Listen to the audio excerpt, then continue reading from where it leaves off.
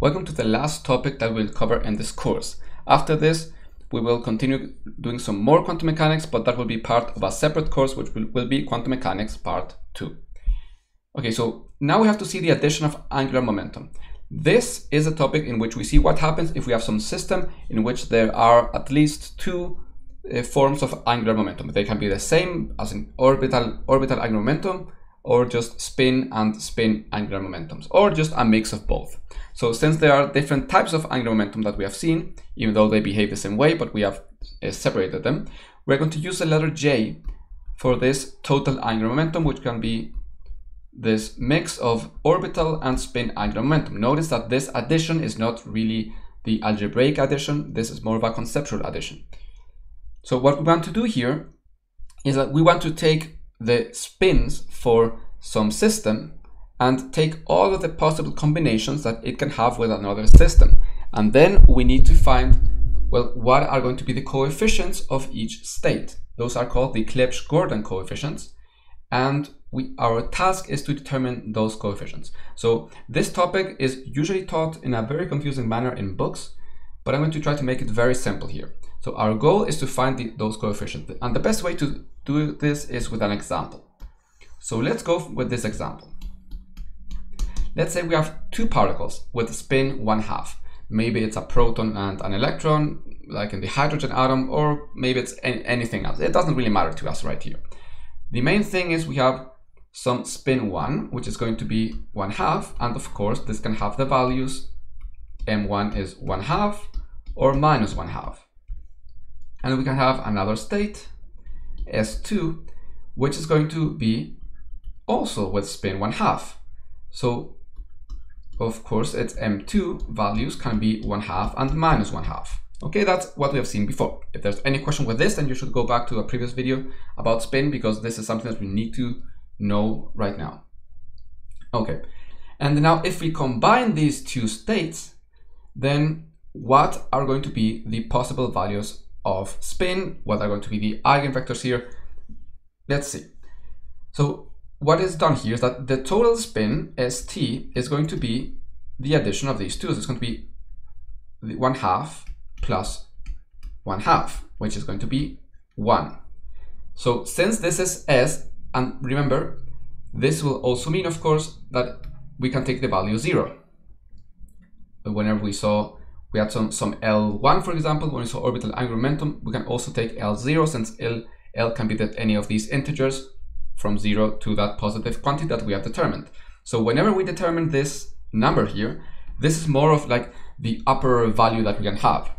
Okay, so that's very important. We have these two possibilities. S can be one or, or zero. And of course, that this means that then M total, for this case, for example, when, when S is one, is going to be minus one, zero, one. And for the case zero, M total is simply going to be zero. So what is going to happen here is basically we're going to combine this total spin, just adding it up to see what is this maximum allowed S, total S. And then also we're going to combine every single M. Now, for now, this is just conceptual. So let's actually begin working with the problem.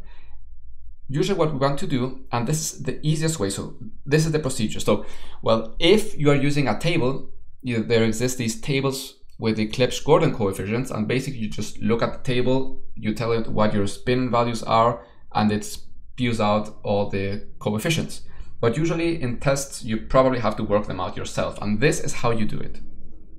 So you begin with either the top or the bottom levels, uh, like the highest or the lowest values for M in the highest value of S. So I like to do highest S and S total, of course, and highest M total. So in this case, that means 1, comma 1. This ket represents S total, M total. And you can also write this, for example, as 1 half, 1 half, where each one of these is going to be the S of each one of the particles, and then semicolon, and then the values for their respective m's. So m1, m2. I have also seen notation where you write it as s1, m1, s2, m2. It doesn't matter. The main thing is that you need to understand what this is. This is just a representation of the system and it can be very, very, very helpful. So let's see what is going to be. So this is the first state already. We know that if S is one, that means these are going to be one half, one half. And we're also going to have these one half, one half here since M total is one. And for that, we need both of the M1s and M2 to be one half.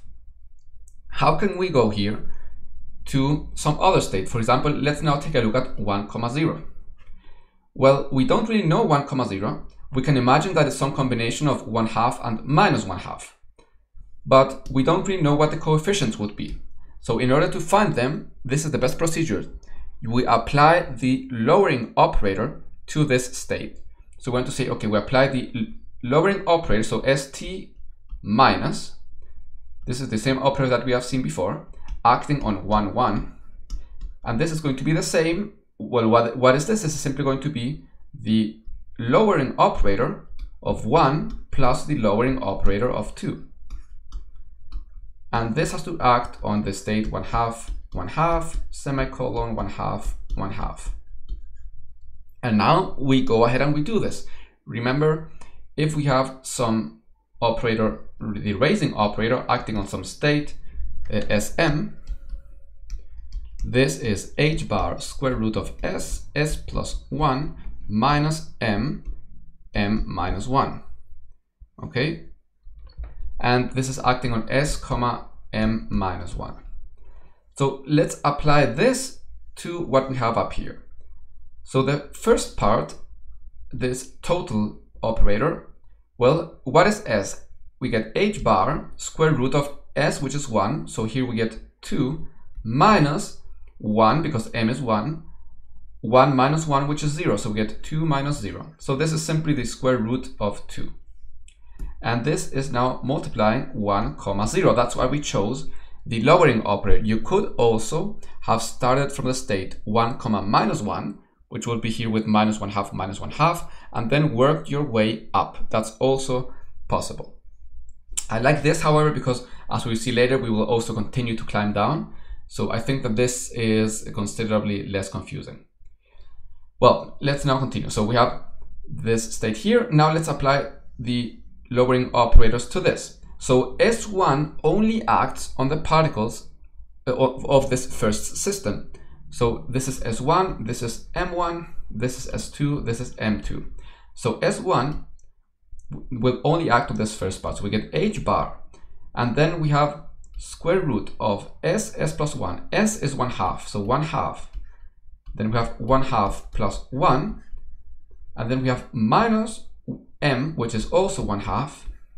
1 half minus 1. And the square root of all of this. So what is this? This is minus 1 half times minus 1 half. That is positive 1 fourth.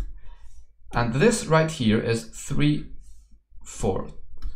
So 3 fourths. That doesn't look like a 3. So here we simply have 4 divided by 4, which is 1. So we're simply going to get h bar. And now this is multiplying this ket. Now the values for s remain the same. However, the value for m1 changes. It is going to be m, this is going to be m1 minus 1. So it's going to be minus 1 half here, comma 1 half. And you can see that the when you add the values of m, they indeed give you this m total, which is going to be 0 and that's what we expected.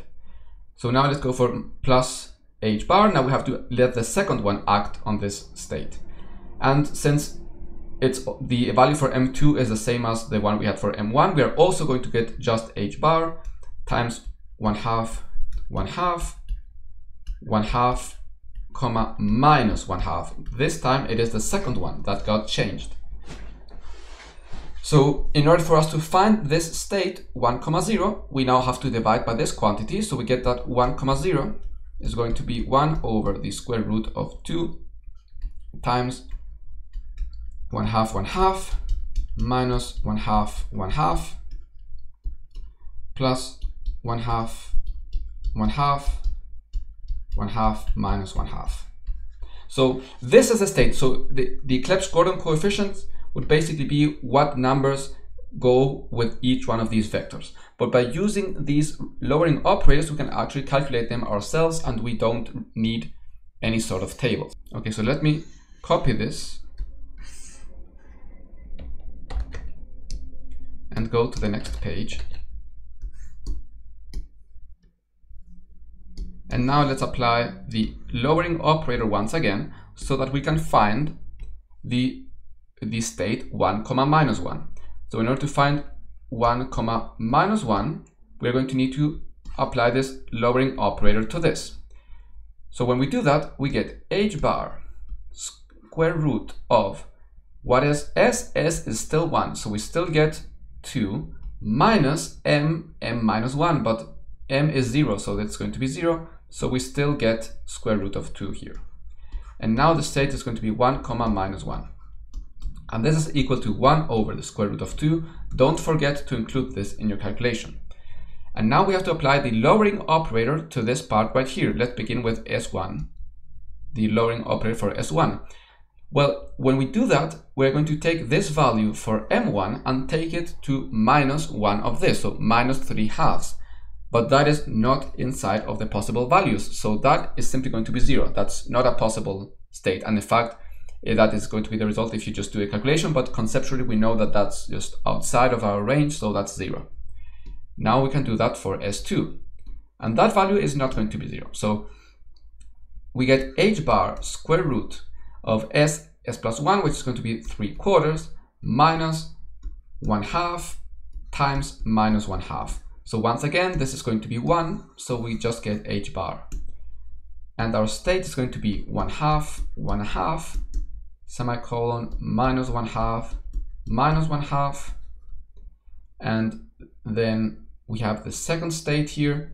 And what is this going to be? This is going to be plus h bar. And once again, here when S1 acts, it's going to be non-zero, but when S2 acts, this part right here is going to go to minus 3 halves, so that is not a valid result. So we will only get one of the possible results here because the other one is 0. And it's going to be h bar times this square root, but the square root is once again going to be 1. So now this is going to be state one half, one half, semicolon, minus one half, minus one half. So here we get, well, we, we can now divide by h bar square root of 2, so that this here is alone. So the h bar cancel out, we get 1 over 2 times, and these two states are identical, so we get 2 times 1 half, 1 half, minus one half, one half, uh, minus one half, and the twos here cancel out. So let's just get rid of that. So this is our lower state. So that was the way to do this for the case when S total was one. So now let's see what happens is S total is zero. So that's what we're going to do now. So let's go then to a new page and here let's find this ket 0, 0. Now, usually what is done, and that's why we started with the case for s equals 1. Now when it's 0, 0, well, this there are going to be two possibilities. So 1 will have some coefficient, and this state is going to be 1 half, 1 half, since our particles are spin 1 half. And then one of them is going to have to be minus 1 half, and one of them is going to have 1 half in their m values, so that the total m is 0 plus b, and then we have still their s is one half because that's the, the value that these particles have, it cannot change. One half, comma, minus one half. So there are these a and b coefficients that we need to determine. And here we have to use two conditions. And that's basically that these states are going to be orthonormal. So that means that if we take the state 0, 0 with 0, 0, well, this state has to be, uh, this has to give us one, this has to be normalized. So what are what does that condition mean? That means, maybe I would need more space, so maybe I will do this down here. So this means that if we take this right here, we're going to get one half, one half as bra minus one half, one half. And then we have the conjugate of a times a, so we're going to get just its absolute value. And then the ket one half one half minus one half 1 half plus the absolute value of b squared. And then 1 half 1 half 1 half comma minus 1 half 1 half comma 1 half and then 1 half comma minus 1 half and both of these are going to be 1 since these states are normalized now because the part that is not normalized is covered by these constants a and b. So we get that a squared plus b squared have to be equal to 1. So now we have the first condition. The second condition is that these states have to be normalized. Uh, sorry, they have to be orthogonal to other states. And now we are going to pick something clever because let's take a look at the other states that we have found, uh, which are, let me see, right here. Yes. So this is, for example, 1, 0. 1, 0 is made out of which of these eigenvectors? Take a look, it's minus 1, it's 1 half, 1 half, minus 1 half, 1 half, and here it's 1 half minus 1 half. And those are actually the same that we have here, right? 0, 0 is minus 1 half, 1 half, and 1 half minus 1 half. So the trick that we need to use for the orthogonality condition is that we take 1 comma 0 and 0 0 uh, we take their inner product. So let's write this out. So the state 1 comma 0 maybe I'll do this in the next page so that we can have some more room. So this is the state 1 0 and the state 0 0 is this one right here